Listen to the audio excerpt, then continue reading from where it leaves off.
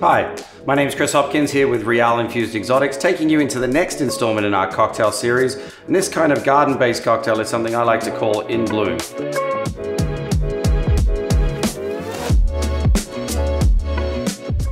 So this cocktail, we start off with one ounce of a London Dry Gin, adding in half an ounce of a floral elderflower liqueur.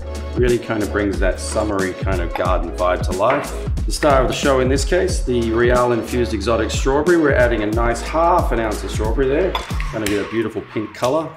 And to finish this off, we're gonna add a little bit of citrus with the Finest Call single pressed lemon juice, another half an ounce in there. And then we're gonna give it a quick shake.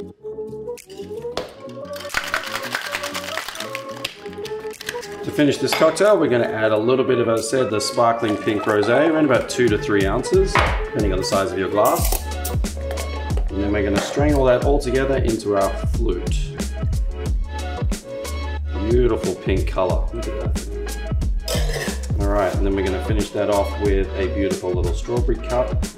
And there we have it, the In Bloom cocktail featuring Reàl Infused Exotic Strawberry. Good luck with drinking, good luck with mixing. See you soon.